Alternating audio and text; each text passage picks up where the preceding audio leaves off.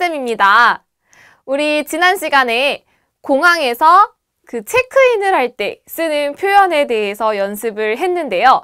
자, 이제 목적지에 도착을 했어요. 만약에 여러분이 이번에는 다른 나라에서 한국에 왔어요. 인천공항에 도착을 했습니다. 그럴 때 쓸 수 있는 한국어 표현들에 대해서 연습을 해보려고 합니다. 자, 일단 한국에 도착을 했어요. 그러면 여러분의 짐을 찾아야겠지요. 맞아요? 가방?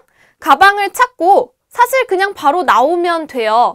그런데 만약에 내 가방이 나오지 않았어요.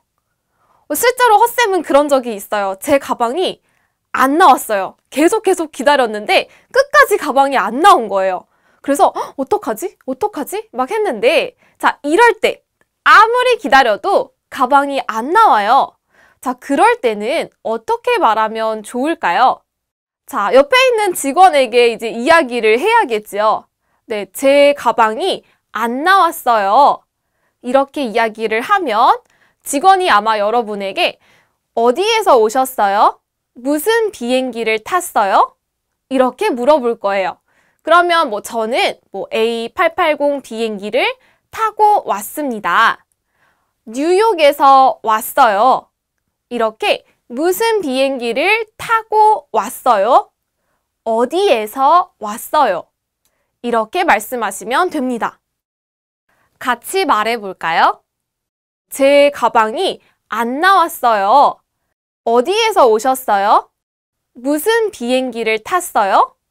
저는 A880 비행기를 타고 왔습니다. 뉴욕에서 왔어요. 자, 이렇게 이야기를 하면 아마 직원분이 여러분의 가방이 지금 어디에 있는지, 출발은 했는지, 아니면 비행기 안에 있는지 확인한 후에 여러분의 뭐 집이나 호텔로 바로 보내줄 거예요. 저는 그때 어, 한 24시간 내로 보내주겠다라고 해서 한 하루 만에 저희 집으로 바로 가방을 보내주더라고요.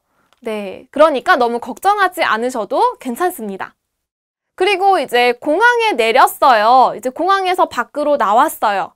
여러분의 뭐 호텔이나 집까지 어떻게 갈 거예요?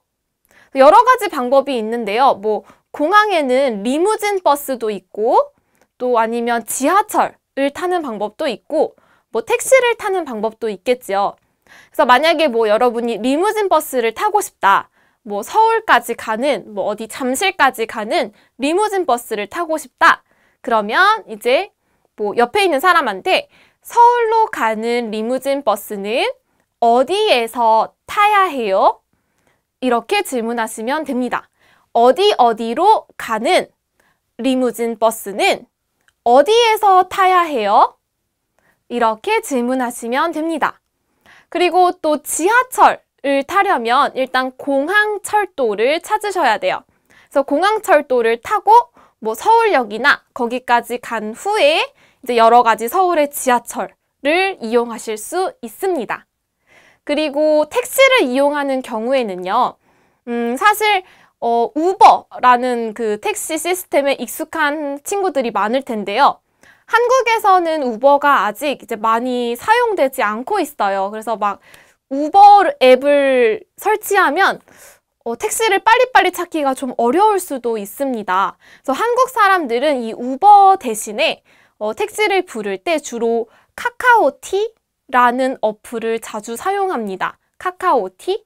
그리고 또 또 조심해야 할 것은 한국에서는 구글 지도가 잘 되지 않아요. 그래서 어떤 뭐 군사적 문제라는 이야기도 있는데 어, 구글 지도로 한국에서 길을 찾으려고 하거나 내비게이션을 이용하려고 하면 잘 되지 않는 경우가 있습니다. 그래서 한국 사람들이 사용하는 그런 한국에서 만든 지도, 뭐 네이버나 다음이나 그런 회사에서 만든 지도들이 훨씬 더 잘 나와 있어요. 그래서 뭐 한국에서 운전을 하거나 직접 길을 찾을 때는 구글 지도보다는 한국에서 만든 그런 지도들을 이용하는 것이 더 음, 좋습니다. 네.